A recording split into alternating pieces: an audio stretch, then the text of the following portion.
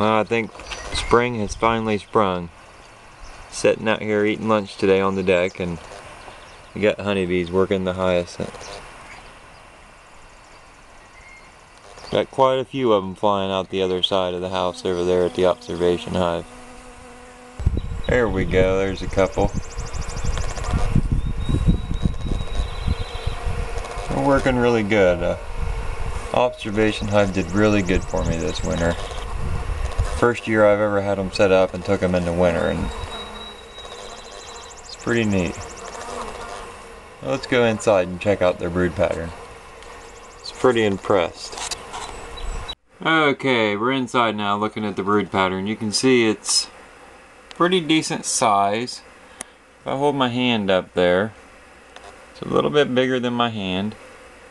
You can see uh, the maple pollen, that's just the yellow pollen, which they have all the way outside wrapping the uh, brood. There's, uh, trying to keep my light in the right place here. Still got, you see the white, that's larva that has not been capped. Some of you know this, some of you are new, so um, we got food stores on this frame at the top.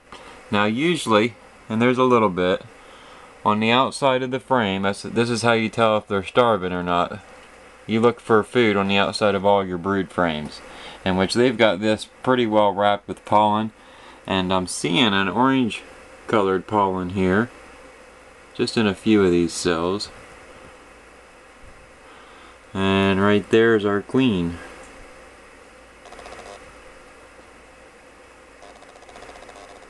Looking good.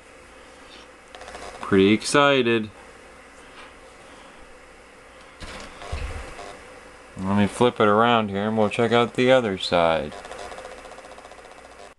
Okay, this is the opposite side.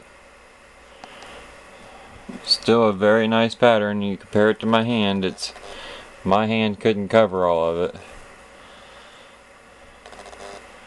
Got a real nice pollen selection going up here. I see uh, stores. I see some nectar in all of them. So that's good. They've got food. I'm seeing a few uncapped cells, which tells me those ones aren't old enough.